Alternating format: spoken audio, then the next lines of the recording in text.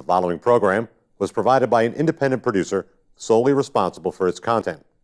The opinions expressed do not necessarily represent the views of this station, its staff, board of directors, or underwriters. As a former New Hampshire state representative who marched with Dr. Martin Luther King in 1963, he currently serves on the New Hampshire Commission for Human Rights. He's a product of Birmingham, Alabama, where at one time he had to guess how many jelly beans were in a fruit jar just to be able to vote. We've come a long way, but we're not there yet. Together, we will explore the visible laws, invisible laws, and the structures above and beneath our human surface that keep us reaching for the stars. It is his goal to work with you in putting Nashua back on top to be voted the number one city in the nation again. We are in a crisis situation, and that's what we're going to talk about. I'm Harvey Keye. Welcome to Nashua Strong.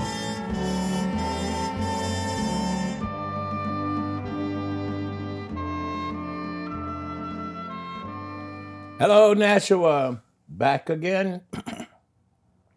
I know you miss me. I've missed you too because COVID 19 is not playing games. If it got you, it got close to you, it will get you again if you're not careful. We are fortunate to live in New Hampshire to have a, a medical team and a governor and some of the officials in our city, our state, to take the scientific approach and keep a lot of us safer than we otherwise would be. I'm happy to be here. I hope you're well. I hope all your families are well, the babies, the grandparents, the extended families, and what have you. So, welcome back to Nashua Strong. And this is really a treat for me today because I am going to tell you that we have a young man who grew up here, raised right in the backyard, went away and became a national football player in two or three or four or five teams. I'm not really sure. He's going to correct me. But very few of all of us, males and females now, will get a chance to play in the National Football League. The percentages of those who graduate from college or become strong in high school and what have you is less than 3% that make it to the top National Football League. So we're going to have a little fun with the guy who was raised right here in our backyard.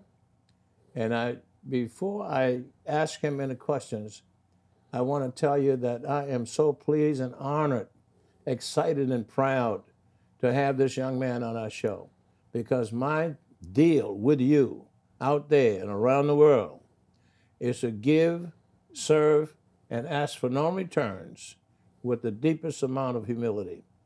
That was when I started the show because I couldn't vote in Birmingham, Alabama. And when I got to Nashua, I got a chance to vote and also became a state representative. So, how excited can I be? I have a young man here, and I said that before. His name is Kendall Reyes, born right here in Nashua, New Hampshire. And let me introduce you to Kendall. Hi, Kendall. Welcome to our show. Welcome back home. We're yeah. going to put the red carpet out for you, and we want those young people to listen to some of the stuff you're going to talk about.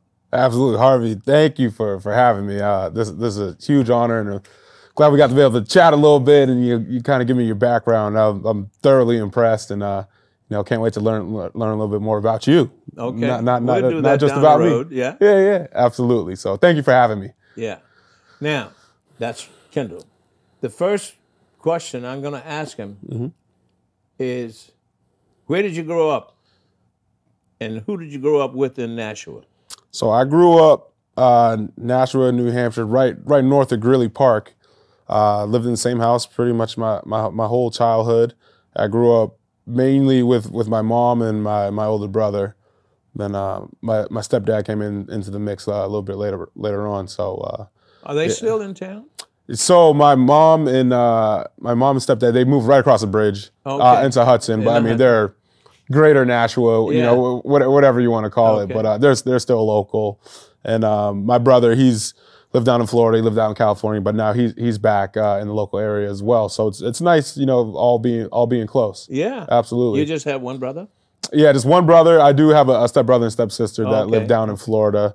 Um, I, I almost hate even saying this step, but you know, I got a brother and sister down okay, in Florida great, too. Great. Are you married? I am married.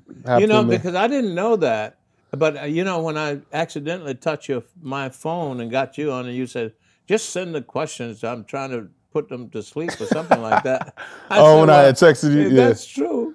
He has some kids, yeah. and then so I apologize for that. No, no, no, it's okay. But no, I I just would- I just wanted to text you back because I I saw the missed call, so I just wanted Yeah, to let you yeah. know that I was, you know, from 7:30 8:30, you know, that's that's How old are your kids? my kids are. I mean, they're pretty much six, three, and two. yeah, That's great, man. Yeah, yeah. So it's, it's, That's it's a lot of fun, a lot Yeah, of fun, a sure. lot of running around. Six, three, and two. How Yeah. about that? Yeah, Now, um, you went to high school here, yeah, yeah. But went to high school. and the high school here was Yeah. So when I was in ninth grade, so ninth grade, you know, you got the the three middle schools, uh, Pennichuck, Elm Street, and Fairground. So ninth grade was still in the the junior high at that time. But when I went to tenth grade, so when they officially split the schools, so I did tenth, eleventh, and twelfth at North. So I was a I was a Titan through and through. But ninth grade, technically, I ran for the one high school when I when I ran now, track. now you played football Yep. in high school. Yep. And what position did you play? Oh man, I mean, I guess a little bit of everything, but uh, mainly, uh, I would say probably like wide receiver, tight end on offense. But defensively, I mean, I played safety, outside linebacker, defensive line. Yeah. But most of my time, I would say outside linebacker. coach? Uh, coach Roby, Jason Roby. Yeah, Yeah. I heard of that name. Yeah, yeah. And did you learn something from the coach? Oh, of course, of course. No, there was. Uh, we, we we had a great time. We had a really really good team. I would say, uh, especially my junior year, we're probably the best team to not make the playoffs.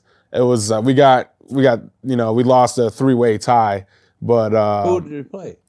no. So it was just based on record. Yeah. So I think all all of us were either all five and three. We're all six and three, but uh, it was just the way it worked out. You know, the other teams ended up going to the playoffs, but uh, no one no one wanted to play us. And Yeah. they- no, so they're they're they're, they're excited um, that that we didn't go. I mean, defensively, we were. I think out of our defense, we had almost everyone made all state in, Wow. in some fashion, whether it be first, second, or, or honorable mention. It was A great defense is the best offense. Pretty, yeah, something- yeah, something like yeah. And You don't. Offense doesn't need to score a lot of points when you don't give up a lot. You know, you, you look at teams like the Ravens, and you know they won a Super Bowl. Well, look at the Yeah. Clippers. Best offense. What's his name? Left there and went with the 76ers. That's basketball. Yeah, yeah.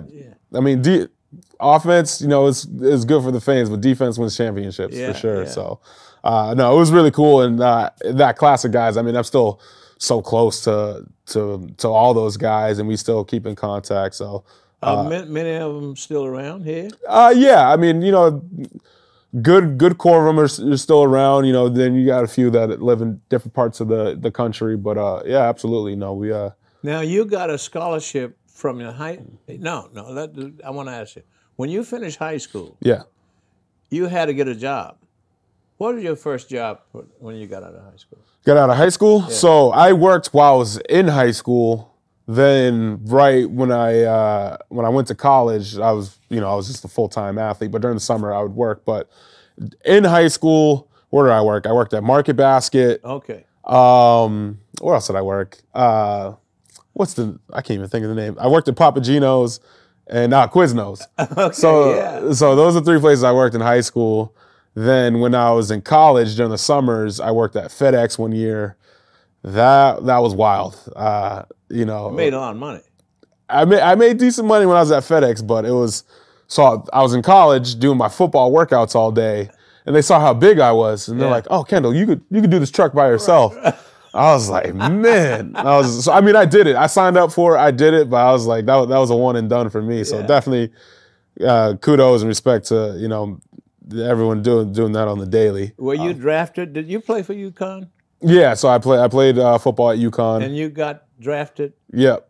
Yep. by whom first? I uh, was drafted by the San Diego Chargers in, in 2012. Yeah, Yeah. so it was uh, I had a lot of fun. For, were you? Which? What was your number of draft? Uh, you? Oh, I was uh, what was I? I was taking the second round. I was the 49th draft pick. Yeah. Yep. Yeah. So And that paid off. How long were you with the 49ers? I was with uh, the Chargers. Uh, I was there for four years.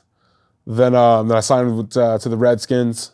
Then uh, then I signed with the Chiefs, and Chiefs is unfortunately where I where I got hurt. What hurt? you- What? How did you get a pulled uh, hamstring? No, I, I wish it was only a pulled hamstring. What'd you get? Uh, but long story short, um, I had a pretty significant wrist injury. Yeah. uh, torn ligaments, uh, shifted bones, and um, you know after a few surgeries, yeah. and uh, you know I had to miss another season, and uh, you know my wrist is never the same, and still Yeah, still yeah. isn't. But I mean I could do I could do most functions, so I'm I'm just glad uh, I I at least have that. Yeah. Um, so I officially had to hang up, you know, football in 2018. Um, then, but uh, I definitely, you know, loved it, enjoyed enjoyed the run. But uh, just like anything, I mean, you could only play sports for for so Right, long, it's- and yeah. glad I, you know, had my education to fall back on once uh, w- once that was done. Great. Yeah, That's marvelous, man. Well, congratulations on retiring yeah, uh, because you could even get further hurt and debilitated where you can't do a lot of things. yeah, absolutely. No, um, no, I'm definitely blessed that it was just only what it was. I mean, I definitely, you know, had some some guys that I played with that are, you know, some of them, you know, got pretty banged up, and you know, talk about. I luckily didn't have any serious head injuries, and um, you know, I, I've had a couple teammates that have, and it's, you know, it's, you know, it's it's unfortunate, but um, you know, we, we all know what we signed up for Uh, too. Kendall, so you know, uh, we haven't spoken much, yeah, but uh, I think my uh, history says, and what I do with young people in the city and around the world yeah, is ask them to play a sport. And I want to ask you, in your opinion, those who play sports, one, two, or three, or single sports, yeah. are more apt to go to college than those who do not play a sport? Do you think? Um, I'm not. I, I would say just based on my experience, a lot of a lot of the people I did play sports with did have a good chance of going to college. Just just because even even to play high school sports, your your grades had to be, you know, at a certain point. You know, and I- I'm sure that those standards are are even higher now. So yeah, I mean, I just I guess based off of that, just knowing that you had certain requirements that that that you had to have just to even play in high I school. had, I had this in mind, like respect, hmm discipline, Yeah. consistency with homework, and being on time. Oh, absolutely. And this is some of the things that you had to do if you played football yeah. with a major league, a major uh, national league football. You had to be on time. You had to work out. You had to do those things because whether you liked it or not, yeah. and that was a requirement Yeah. if you wanted to stay and get paid. Absolutely. And the pay was sort of uh, important, wasn't it? Yeah, I mean, pay was definitely important, but just to be able to play, I mean, that that that was everything. And uh, it's funny that you mentioned that, you know, being on time. I still to this day, I have dreams that like I'm late for a meeting, you know, for a football meeting. So like, I mean, high school, college, or, or anything, especially college, like when you miss like a meeting, Yeah. Oh man, Yeah. the the punishment for that is like, or even if you're you're late. I mean, in college it was, you know, you either got to do six a.m. runs or extra study hall, and obviously in the NFL they they they, they hit your wallet, Yeah. and uh, no no no one wants to lose money, uh, big big or Is- small. Is so that is that well in college they didn't pay you, but you No. you're talking when you went to the Chargers. yeah yeah. So yeah, when I was in college, but I mean, since they didn't pay you, then you'd have to wake up and do do you know physical punishment and or do extra study hall and you know we were in that football facility a lot. So Yeah. you you're trying to get out every every chance every chance you you can. And uh, uh so I, it's great I still have dreams like especially when I'm like I have like a deadline or something. I'm like in my head I'm having a football dream that I'm late to a meeting. Then I wake up and I'm like whew. Thank goodness I was I'm more scared in that dream than I than I am in real life And you know of what? being That late. carried over into your present occupation, yeah. And you are not going to be late to make a speech. Yeah You know, I I think you, I believe Tim at St. Joe's says you were working with the Boys and Girls Club, yeah and there's an event that you hold. Now you've been here how long now? uh you mean like live- here back home. Uh yeah, so I mean, so me and my wife we bought a place, you know, a couple towns over. I mean, I'm still just a few minutes down the road. But uh uh we bought it in 2016, then I when I officially retired, I was Okay. pretty pretty much back for the last 4 years. Um but uh yeah, no, but uh as you're saying I, I me and my wife, we've been uh, doing an event since uh, after my first year in the NFL. Uh, so 2013 is the uh, first Reyes Family Field Day that we that we do with uh, with the What Boys and Girls called? Club. Reyes Family Field Day. Reyes Family Field Day. Yeah. Is that advertised and publicized in this city? Uh, yeah, yeah. So once um, you know, once we get everything up and running, so usually like a couple months before we do all the planning, then usually at least two months before is when we start promoting it. Uh, so a lot of times I have a direct website. It's just Reyes FFD for Family Field Day uh, dot com, or in lot, and it's usually right on the Boys and Girls Club website too. Um, so that should be ready by by the end of May. And um, last year we we you know we didn't do it obviously with uh, everything going on with the pandemic, but I'm really excited uh, to do it again this year. It's uh, it's going to be smaller, obviously, with everything still going on, but uh, it's going to be good. You know, um, you know for for the kids that that that can go and um, and, and able to do it safely. So we're we're pretty pumped. So that's going to be July 20th um, of this year during the week. Um, then we're also gonna, you know, have our, you know, our fundraiser as well. So I, so kind of what I always say, I always separate it. And, you know, I want the kids' day to be about the kids. Then the fundraiser, you know, one of the adults that are, you know, playing around and, you know, hope and hopefully donate some money. Um, you know, I always kept that separate. But uh, you know, that money goes towards scholarships. Um, you know, for for members of the Boys and Girls Club that are looking to further their education and um, and it also sometimes we also done other things too, like with certain nutritional things that that they wanted to start up, and um, you know, donate to the to the basketball programs. So we we always wanted to to take that money that we raise and you know make sure it's going to you know f- you know further help the kids and uh, especially you know for them going to college and um, you know be able to further education. You know, you take take someone from the, the club and uh, man, you know, some of these stories, and because you know, I, I look at the applications uh, uh, when they send it in, and it's just it's mind blowing. Um, you know, especially some of the situations, you know, some of these members are in. But uh, so it honestly, it motivates me to to want to do more. You know, it's uh, it's always a lot putting together an event, um, but it, it's always it's always worth it in the end. And um, you know, I'm really excited to get to, to get back to it this year. Um, so you know, I'm definitely looking forward to that. Well, I, just hope that we will be able to help you advertise and promote the program. Absolutely, Now, thank you. this is not just for Nashua. This is statewide. So this year specifically, I think it's just going to be the Boys and Girls Club members. But in Nashua. in Nat, well, so I mean, the Boys and Girls Club in general, it's not just for Nashua. It's called Greater Nashua. So if you're if you lived in Hudson and you're a member of the National Boys and Girls Club, Yeah. so because of everything that's still going on this year, it's open to members. But they're the Boys and Girls Club. They're always taking on new membership. So um and What's it- the age uh, limitations of? Uh, so I mean, most most most of the most of the participants are typically, you know, I would say eight to twelve, kind of Yeah. like that uh, late elementary, early early middle school age. Um, I, I would say for the for the most part, you know, or the is the age of the participants.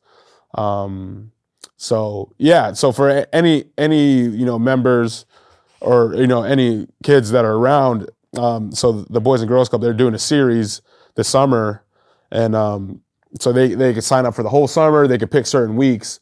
So ours, the field day is going to be a part of Carnival Week. So we'll be day two of Carnival Week. So When is that? it's going to be the week. So the event's July twentieth.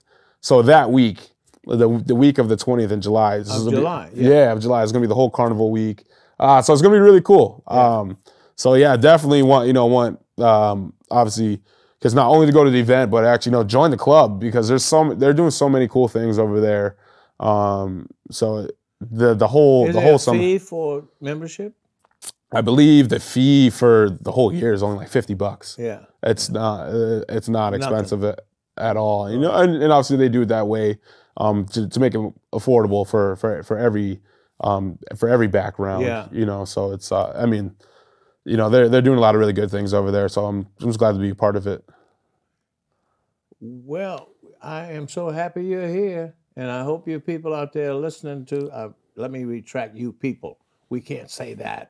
That means us over here a little bit better. No, I hope all of us are listening to uh, Randall talk about his past and what uh, it's how he has, uh, I guess, gone up the ladder through the sports arena in that sports route, gotten an education, played football with the very few of those selected, and came back to us and sitting here with Harvey, called Nashua Strong, to share with you some of his, I won't call it secrets, because no secret.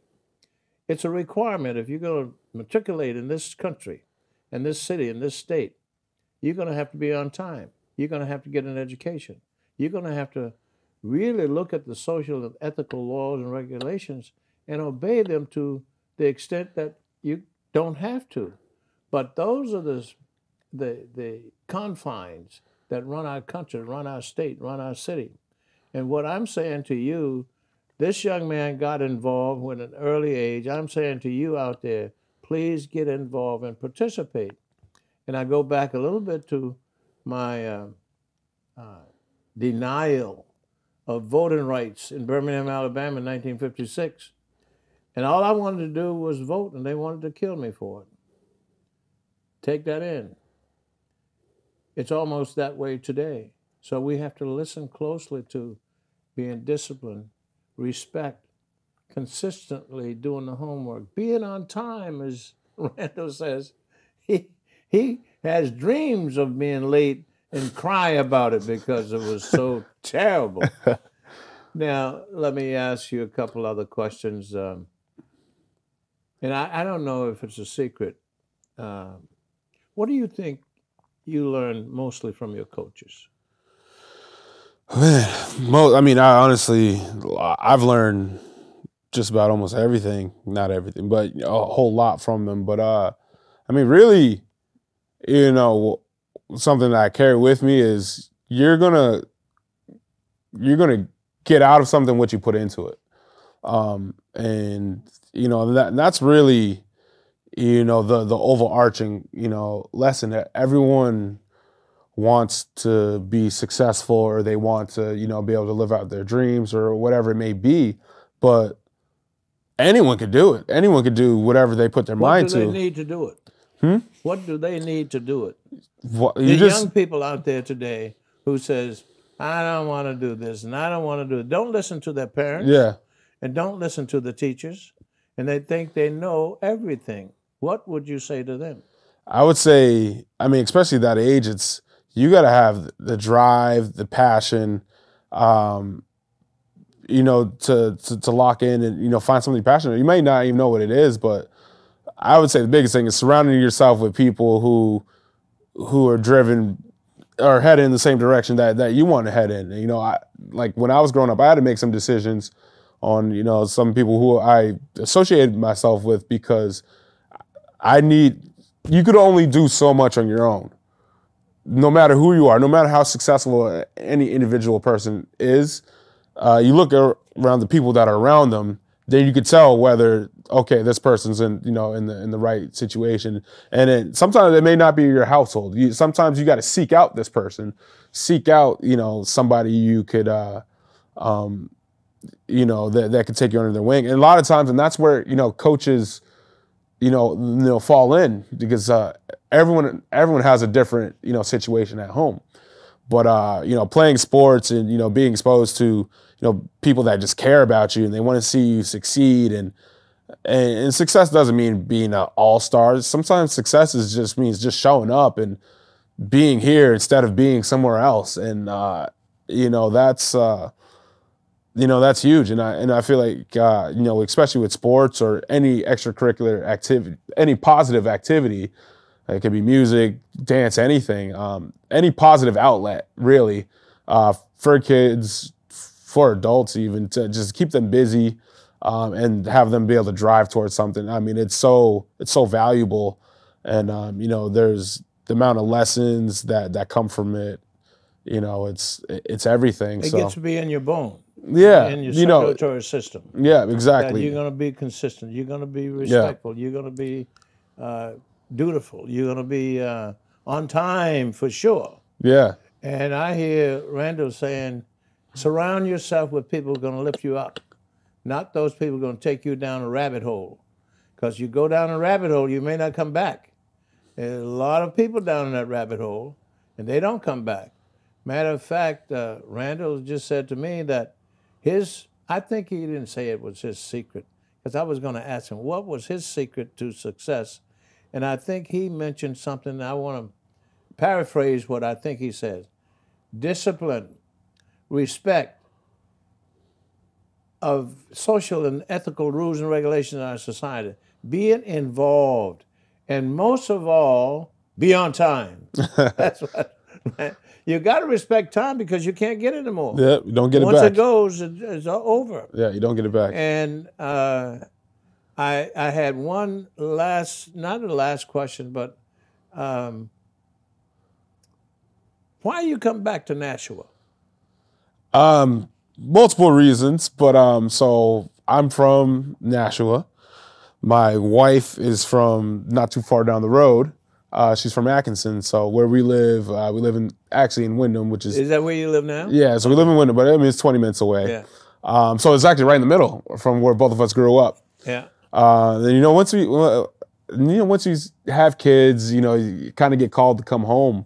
Uh, so it's kind of why we came back. But uh, you know it's uh, now that we're here, you know, and and I'm able to, you know, contribute to you know a place where I grew up, and uh, I mean it's it's amazing, it's, it's beautiful, and um, you know there's there's so much.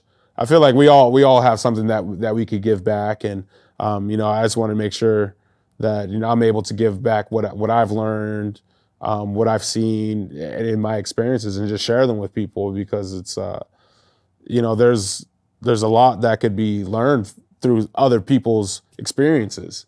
Um, you know, some lessons you got got to be learned by going through them, and a lot of lessons are learned by what other people went through, and um, you know, so just be able to you know shed positive energy. Uh, you know, that's that's the thing I'm big on is shedding positive energy. There's a lot of things you know in our society that kind of want to bog us down, bring us down.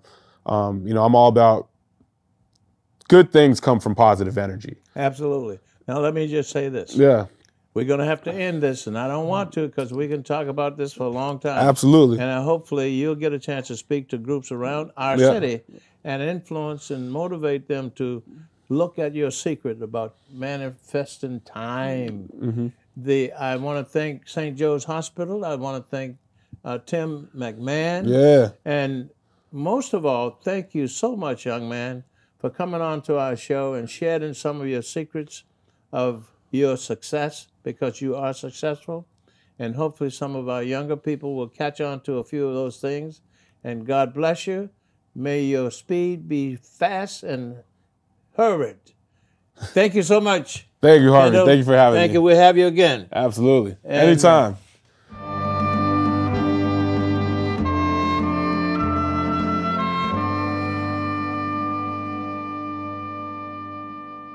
The preceding program was provided by an independent producer solely responsible for its content.